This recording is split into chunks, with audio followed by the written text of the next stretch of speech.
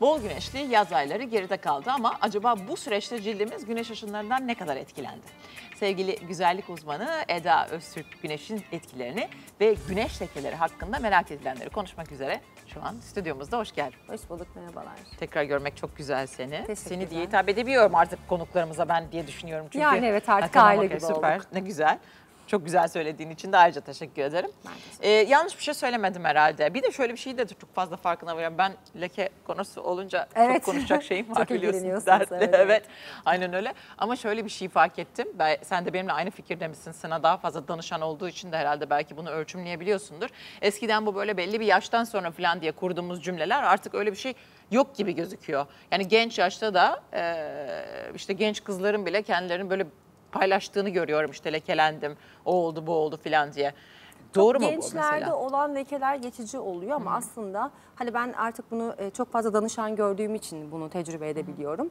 Şöyle 27, 28, 30 yaşlardan sonra maalesef daha fazla lekeleniyor kişiler. Çünkü cilt inceliyor ve e, kolajen kaybediyor. Kolajen kaybettiği zaman da alttaki leke daha fazla meydana geliyor. Yani daha, daha çok daha fazla gözüküyor. Ben hala e, yaş aldıkça lekelenmenin daha fazla arttığını düşünüyorum. Peki mesela bunun güneşe güneşle direkt ilişkisine onu da konuşalım. Direkt ilişkisi e, kesinlikle tabii ki daha çok genetik faktörlerden ki bakıyorsun 60 yaşına gelmiş ama hiçbir lekesi yok ailede, hiç çevresinde hiç kimsede leke yok. Kendisinde de oluşmayabiliyor ama tabii ki çok iyi korumak gerekiyor. Bağırsak problemleri aslında lekelenmeyi çok fazla arttırıyor genetik faktörlerden dolayı. E, tabii ki baştan en her zaman söylediğimiz çok iyi korumak gerekiyor cildi ki daha az lekelenebilelim diye.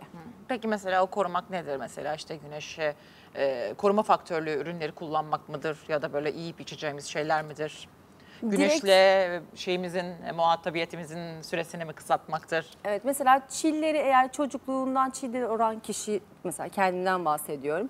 Ee, mutlaka güneşin alnına yatarken ya da e, araç kullanırken bu 3 aylık sürede mutlaka saat başı e, Sürmek gerektiğini. güneş kremi sürmek gerekiyor. Evet. O böyle mesela şeyi de çok fazla bizim son işte bu zaman yani öncelerde çok da fazla dikkat etmediğimiz şeyler. Mesela araba kullanıyorsanız ya da fark O etmiyor çok önemli herhalde. ama. Değil mi? Ee, camdan kırılan güneşin Tabii. ışığının çok daha fazla Çok etkili zararlı o. olduğu Evet evet evet. Hatta mesela araç kullanırken e, çok fazla insanlar yanar kollarımız Evet. falan.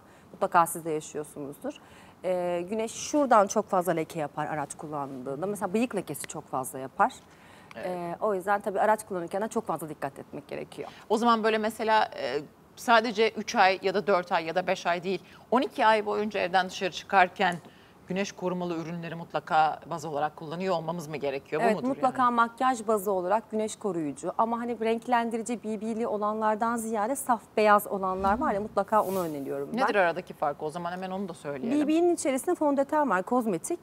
Ee, zaten bir kozmetik kullanacak isek mutlaka altına beyaz olan güneş kremi kullanmamalıyız ki e, üzerine sonrasında fondöten kullanalım. Çünkü o e, BB olanlar fondötenli, kozmetik olduğu için ben mutlaka derma kozmetik olan güneş kremi kullanmalarını tavsiye ediyorum. Unuttuğumuz başka bir şey daha var. Biz sanki hep yüzden bahsediyor gibiyiz ama aslında bütün vücut güneşle e, şey güneşe maruz kalacak her alana mı korumayı bu şekilde sürmekten Omuzlarda çok fazla oluyor leke ve göğüste çok olur. Ama tabii ki e, yüz daha fazla direkt güneşe maruz kaldığı için tabii ki ve yüz cildi daha ince olduğu için çok fazla daha yüzümüzü daha fazla korumamız gerekiyor. Peki melanosit nedir? E, melanosit hücre insan gibidir. Doğar, büyür ve ölür. Bu süre içerisinde pigment hücrelerinin çok fazla melanin üretmesinden melanosit oluşur. Melanositin de daha fazla üretilmiş halde melazmayı oluşturur. Melazma dediğimiz şey de genelde lekelerden oluşan. Evet, me- e, melazma aslında gözle bile görünebilecek. Hani bir cihaza ya da bir e, lupla bakmaya gerek olmaz. Melazma çok koyu renktir ve çerçevelidir. Daha çok hani maske lekelerinde melazma olur ve daha oturmuş, dalgalı olmayan, daha fazla e, normal lekelerden daha koyu hali melazmadır. Melazma daha çok hamilelerde gözükür. Erkek çocuğu doğuran annelerde çok fazla melazma gözükür. Sebebi nedir? Vücuttaki değişimler. Hormon, hormon daha çok hormondan olur ve en hızlı oluşan leke de melazma lekesidir. Hangisi yani? Ne, hangisini diye soruyorum şöyle bir şey. Dudak üstünde gördüklerimizin yapısından mı bahsediyoruz? Yoksa yüzde her yer, herhangi bir e, noktada? her yerinde olabilir. Çenede, burunda, alında, daha çok yanaklarda o gözüküyor aslında ve alında gözüküyor. Ama daha oturmuş bir leke oluyor, koyu. Ve daha böyle izleri belli olan lekeler oluyor melazma. Kıtalar gibi gözüküyor. Aynen Kıta öyle, kıtalar mi? gibi. kıtalar gibi. Onu var ben de çünkü o biliyorum. Şimdi öyle deyince ondan da var, öbüründen de var, hepsinden var. Hepsine isim koymaya çalışıyorum çünkü. Evet. Ee, peki mesela o zaman koruyamadık. Şöyle diyeyim. Lekelendiniz. Lekelendim. Ee, bu bir süreç mi? Mesela ilk başladığında daha hafif başlıyor. Ben farkına varmıyorum. Evet. Sonra iyice rengini almaya başladıktan sonra farkına varıyorum.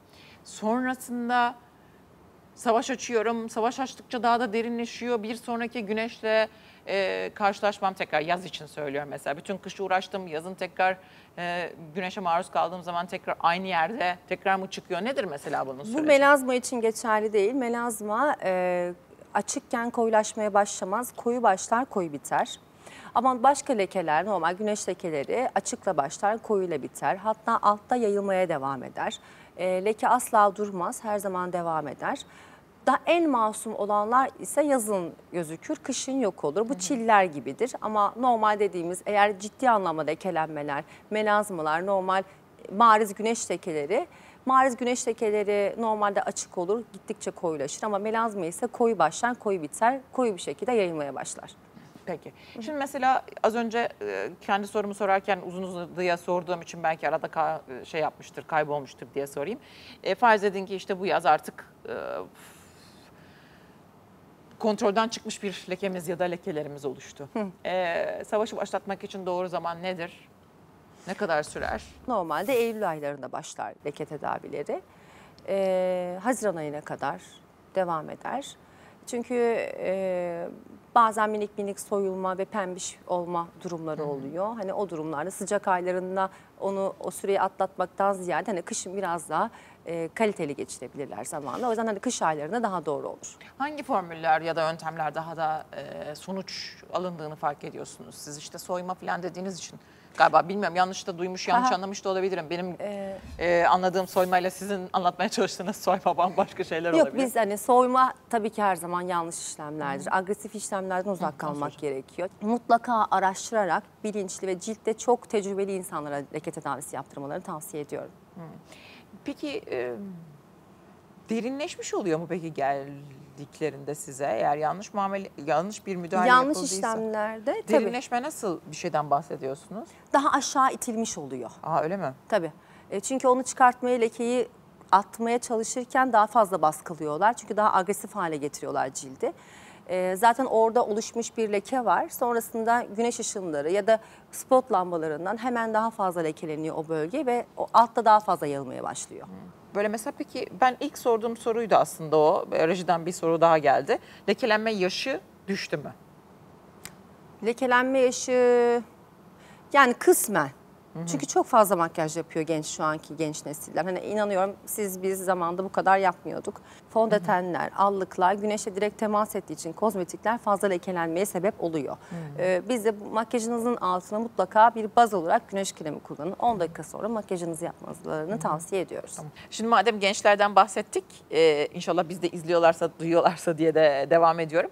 Makyajı yaptık, yapmamış olsak bile aslında cildimizin temizliğine hangi e, derecede dikkat etmemiz gerekiyor? Siz biraz böyle e, agresif ürünlerde çok fazla kullanılmaması gerek diyorsunuz ama e, bakım yapılan yerlerde mi agresif ürünlerin daha fazla kullanılmaması yoksa çünkü evde de artık ulaşabiliyoruz ya pek çok ürüne. İşte soyan, peeling yapan e, ürünler çok fazla kullanıyoruz falan. Yanlış Yok mıyım? merkezlerdeki agresif işlemler evdekiler gibi olmuyor. gibi değil. Ha tamam Hayır. peki. Mesela böyle peelingi tavsiye ediyor musunuz? Ee, nasıl bir temizlemeden bahsediyoruz? Kesinlikle makyaj uyumasınlar. Çünkü e, cildimizde kozmetik kaldıkça daha fazla lekelenmeye sebep oluyor. Çok da sık sık haftada bir e, haftada bir normal ama haftada bazen 2-3 defa peeling uyguladıklarını duyuyorum ben evde. Evde yapılan uygulamalar. Evet o da hani biraz daha cildi inceltiyor. Mutlaka onda haftada bir defa peelinglerini yapsınlar ve kesinlikle makyaj uyumamalarını tavsiye ediyorum. O peeling tabii ki böyle cilde inanılmaz bir ışıltı veriyor ister istemez. Haftada bir Hepimizin olur, 10 sevdiği. günde bir olur. Yani e, ayda 3 defa yap, yapabilirler ama haftada birkaç defayı tavsiye etmiyorum. Bunu çok yaptıklarını duyuyorum çünkü. Keselemek peki mesela böyle? Kesinlikle hayır. Mm-mm. Çok büyük bir hata o. Ayda bir de mi yani sıfır bir Keseye tamamen karşıyım ben. Ha öyle mi tamam. Vücut bütün vücut içinde geçerli. Harika. Vücut için çok iyi Ha, ama tamam. cilt Korktum. yüz cildi hepimiz yaptırıyoruz. Yüz cildi ince olduğu için keseyi ke- kesinlikle ciltten uzak tutmak Ha, gerekiyor. bitmeden önce bir çünkü bir sorarlar yüzünü devam edelim yapalım mı falan Evet, diye. evet. Evde de normalde yani kendimiz banyo yaparken yüzümüze bir şey şekilde hani Normal e, jel uygulamıyor. ya da e, süt eğer cildiniz neye müsaitse neyi kaldırabiliyorsa onunla yıkasınlar ama ha- 10 günde bir haftada bir peeling yeterli olur. Tamam peki. Çok çok teşekkür Ben ediyoruz teşekkür efendim. ederim. Sağ Çok olun. Güzel sohbet için. Sağ. Her Ben zaman. teşekkür her ederim. zaman karşılıklı. Efendim lütfen kulağınıza küpe olsun diyerek bu sohbetimizi sonlandırıyoruz. Bizi izlemeye devam edin.